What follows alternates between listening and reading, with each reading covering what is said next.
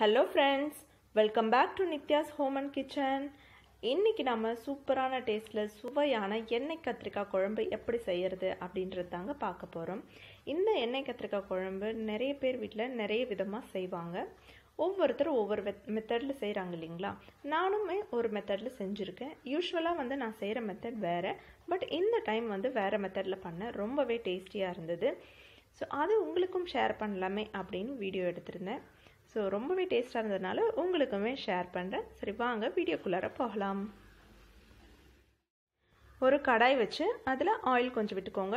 நல்லெண்ணெய் கூட ஊற்றிக்கோங்க இல்லை ரீஃபைண்ட் ஆயில் இருந்தாலும் சரி கடலை எண்ணெய் இருந்தாலும் சரி எதுவாக இருந்தாலும் சரி ஆயில் கொஞ்சம் விட்டுக்கிட்டு அதில் சீரகம் ஒரு டீஸ்பூன் சோம்பு ஒரு டீஸ்பூன் போட்டுக்கோங்க. ஒரு பத்து பல் பூண்டு போட்டுட்டு ஒரு சின்ன துண்டு இஞ்சி போட்டுக்கோங்க. நெக்ஸ்ட் வந்து வெங்காயம் வந்து இரண்டு வெங்காயம் மீடியம் சைஸ் வெங்காயம் வந்து இரண்டு எடுத்துக்கோங்க. அதை நீல வாக்கில் கட் பண்ணி அதுவுமே ஆயிலில் சேர்த்துட்டு கொஞ்சம் நேரம் நல்லா வதக்கி விடுங்க. ஆனியன் கொஞ்ச நேரம் பதங்கட்டும்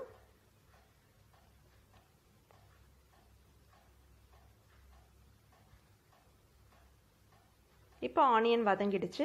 இந்த டைமில் நம்ம வந்து டொமேட்டோ ஆட் பண்ணிக்கணும். நான் வந்து மூணு தக்காளி எடுத்திருக்கேன் மீடியம் சைஸில் அதை வந்து நீல வாக்கில் கட் பண்ணி அதையுமே ஆட் பண்ணிக்கிட்டேன். இதுவும் கொஞ்ச நேரம் நல்லா வதங்கட்டும். இப்போ வந்து மஞ்சள் தூள் ஒரு டீஸ்பூன் அளவுக்கு ஆட் பண்ணிக்கோங்க. இப்போ மிளகாய் தூள் அதாவது குழம்பு மிளகாய் தூள். உங்களுக்கு இந்த குழம்புக்கு தேவையான அளவுக்கு எவ்வளோ காரம் தேவையோ அவ்வளோ மிளகாய் தூள் எடுத்துக்கோங்க. அதை வந்து இதில் ஆட் பண்ணிவிட்டு அதையுமே நல்லா வதக்கி விடுங்க. ஸோ இதெல்லாம் கொஞ்சம் நேரம் நல்லா வதங்கணும். அதனால நல்லா வதங்கிறதுக்காக நம்ம வந்து இதை மூடி போட்டு மூடி வைக்க போகிறோம் கொஞ்ச நேரம் வதங்குற வரைக்கும். இப்போ தக்காளி வெங்காயம்லாம் நல்லா வதங்கியாச்சு. இந்த டைமில் நம்ம ஒரு சின்ன துண்டு தேங்காய் வந்து ஆட் பண்ணிக்கிறோம். சின்ன சின்ன பல்லாக கட் பண்ணி ஆட் பண்ணியிருக்கேன். இதில் வந்து நீங்கள் துருவி கூட ஆட் பண்ணிக்கலாம். இல்லை ஸ்ட்ரைட்டாக அரைக்கும் பொழுது கூட ஆட் பண்ணி அரைச்சிக்கலாம். இப்போ இந்த தக்காளி வெங்காயம்லாம் நல்லா சூடு ஆறுனதும் நம்ம நல்லா விழுதாக அரைச்சி எடுத்துக்கணும். இந்த வீடியோவில் பார்த்தீங்கன்னா உங்களுக்காக ரெண்டு டிப்ஸ் சொல்ல போகிறேன் ஸோ மிஸ் பண்ணாமல் பாருங்கள் வீடியோவை ஃபுல்லாக பாருங்கள் இப்போ ஒரு கடாய் வச்சுட்டு அதில் கொஞ்சம் ஆயில் ஊற்றிக்கோங்க எண்ணெய் கொஞ்சம் அதிகமாகவே ஊற்றிக்கோங்க கத்திரிக்காயில் நல்லா வதங்கணும் அப்படின்றதுக்காக தான் எண்ணெய் கொஞ்சம் அதிகமாக ஊற்றிக்கிறோம் ஸோ இந்த கத்திரிக்காயெல்லாம் நல்லா வாஷ் பண்ணிவிட்டு இதை நாளாக கீறி இதில் ஆட் பண்ணிக்கோங்க. இந்த எண்ணெயில் இப்படி ஆட் பண்ணும்பொழுது கொஞ்சம் கொஞ்சம் நேரம் திருப்பி திருப்பி விட்டிங்க அப்படின்னா கத்திரிக்காய் கொஞ்சம் நேரத்தில் நல்லா வதங்கிடும். ஸோ இது எண்ணெய் கத்திரிக்காய் குழம்பு அப்படின்றதுனால நம்ம எண்ணெயில் வதக்கி அதுக்கப்புறமா வந்து குழம்புல சேர்க்கும் பொழுது தான் இந்த கத்திரிக்காயோட டேஸ்ட் வந்து ரொம்ப நல்லாயிருக்கும். குழம்புமே ரொம்ப சுவையாக இருக்கும். ஸோ இந்த மெத்தடில் நிறைய பேர் வந்து செஞ்சு பார்த்துருப்பீங்க. செஞ்சு உங்களுக்கு ஓகே பட் செய்யாதவங்களுக்கு இது புது மெத்தடாக இருக்கும். கண்டிப்பாக ட்ரை பண்ணி பாருங்கள்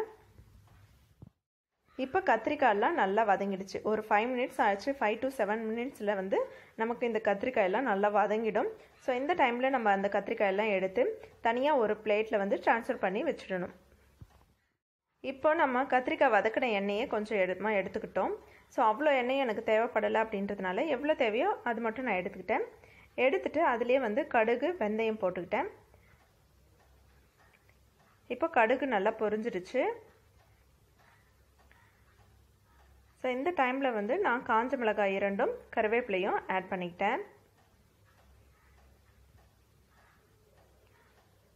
நெக்ஸ்ட்டு வந்து நான் வெங்காயம் ஆட் பண்ணிக்க போகிறேன் ஒரே ஒரு வெங்காயம் நல்லா பொடியாக கட் பண்ணி ஆட் பண்ணியிருக்கேன் சின்ன வெங்காயம் இருந்ததுன்னா அதை நீங்கள் ஆட் பண்ணிக்கோங்க. என்கிட்ட இப்போ சின்ன வெங்காயம் இல்லை அப்படின்றதுனால ஒரே ஒரு பெரிய வெங்காயம் பொடியாக கட் பண்ணி ஆட் பண்ணியிருக்கேன் சின்ன வெங்காயம் ஆட் பண்ணிங்கன்னா இன்னுமே டேஸ்ட்டு கொஞ்சம் கூடுதலாக இருக்கும். ஸோ இதை போட்டு ஆனியன் நல்லா வதங்குற வரைக்கும் வதக்கி விடுங்க. இப்போ ஆனியன் நல்லா வதங்கிடுச்சு. இந்த டைமில் நம்ம அரைச்சி வச்சுருக்கோம் இல்லைங்களா? வெங்காயம் தக்காளி தேங்காய்லாம் போட்டு வதக்கி அரைச்சிருக்கோம் இல்லைங்களா? அந்த விழுதை வந்து நம்ம சேர்த்துக்கிடணும். ஸோ ஆல்ரெடி இதெல்லாம் வந்து நல்லா வதங்குனது அப்படின்றதுனால நம்மளுக்கு அந்த பச்சை வாசனை வந்து இருக்காது. அந்த மிளகாய் தூளோட ராஸ்மெல் கூட நமக்கு இருக்காது. ஸோ நம்ம எல்லாமே நல்லா வதக்கி தான் ஆட் பண்ணுறோம் அப்படின்றதுனால அந்த ராஸ்மெல் நமக்கு இருக்காது. ஸோ இப்போ ஆட் பண்ணிக்கலாம். ஆட் பண்ணிவிட்டு இது கொஞ்சம் ஆட் பண்ணி நல்லா கலந்து விட்டதுமே நம்ம புளி கரைசல் வந்து ஆட் பண்ணிக்கணும். ஒரு எலுமிச்சம் பழம் அளவுக்கு வந்து புளி கரைச்சிட்டு அதிலே கொஞ்சம் தண்ணியும் ஆட் பண்ணி ஊற்றிக்கிட்டேன் இதில். உங்களுக்கு எவ்வளோ தண்ணி வேணுமோ அந்த அளவுக்கு நீங்கள் வந்து ஊற்றிக்கிடலாம் கொஞ்சம் தண்ணியாக சாப்பிட்ணுன்னு நினைக்கிறவங்க இன்னும் கூட கொஞ்சம் தண்ணி வந்து அதிகமாக ஆட் பண்ணிக்கலாம். இல்லைன்னா ரொம்ப திக்காக சாப்பிட்றீங்க அப்படின்னா நீங்கள் திக்காக உங்களுக்கு எவ்வளோ தேவையோ அவ்வளோ வச்சுக்கிடலாம். நான் இப்போ டிப்ஸ் ஒன்று சொல்கிறேன்னு சொன்னேன் இல்லைங்களா? இப்போ வந்து ஃபஸ்ட்டு டிப்ஸ் என்ன அப்படின்னு பார்த்தீங்கன்னா இந்த புளிக்குழம்பெல்லாம் வைக்கும் பொழுது புளிப்பு சுவை வந்து அதிகமாகிடுச்சு அப்படின்னா அதை பேலன்ஸ் பண்ணுறதுக்கு நம்ம ஒரு சின்ன துண்டு வெல்லம் வந்து கடைசியாக ஆட் பண்ணிக்கிட்டோம் அப்படின்னா அந்த புளிப்பு சுவையை வந்து பேலன்ஸ் பண்ணிடும். இப்போ இந்த குழம்புக்கு தேவையான அளவுக்கு சால்ட்டும் ஆட் பண்ணிக்கிட்டேன்.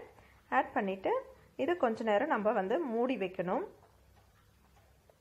கொஞ்ச நேரம் மூடி வச்சதோம் அப்படின்னு பார்த்தீங்கன்னா அந்த எண்ணெய்லாம் வந்து லைட்டாக பிரிஞ்சு வரும். அது வரைக்கும் விடணும்.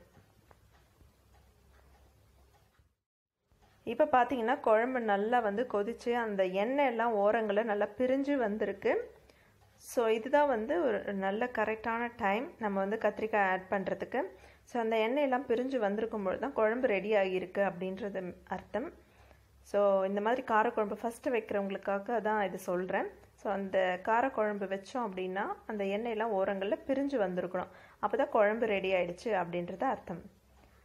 ஸோ இந்த டைமில் நம்ம வதக்கி வச்சுருக்கிற கத்திரிக்காய் எல்லாம் ஆட் பண்ணிக்கிறோம். ஸோ அந்த கத்திரிக்காயிலுமே வந்து புளிப்பு காரம் அந்த உப்பெல்லாம் வந்து ஏறணும் அப்படின்றதுக்காக ஒரு ஃபைவ் மினிட்ஸ் விட்டு நம்ம ஆஃப் பண்ணிடலாம். ஸோ எத்தனை பேருக்கு என்ன கத்திரிக்காய் குழம்பு பிடிக்கும் அப்படின்றதும் நீங்கள் கமெண்ட்டில் வந்து கமெண்ட் பண்ணுங்கள் எனக்கு ரொம்பவே பிடிச்சமான குழம்புகள் இந்த எண்ணெய் கத்திரிக்காய் குழம்பு ஒன்று ஸோ எனக்கு ரொம்பவே பிடிக்கும். யாருக்கெல்லாம் ரொம்ப பிடிக்கும் அப்படின்றது கமெண்ட்டில் சொல்லுங்கள் செகண்ட் டிப் என்ன அப்படின்னா அந்த புளியெல்லாம் போட்டு வைக்கிற ஜாடியில் வந்து இரண்டு காஞ்ச மிளகாயும் போட்டு வைங்க. பூச்சி வரா இப்போ நமக்கு ஃபைவ் மினிட்ஸ் ஆனதுக்கப்புறம் எண்ணெய் கத்திரிக்காய் குழம்பு ரெடி ஆயிடுச்சுங்க. இப்போ சூப்பரான சுவையான எண்ணெய் கத்திரிக்காய் குழம்பு ரெடி ஆயிடுச்சுங்க.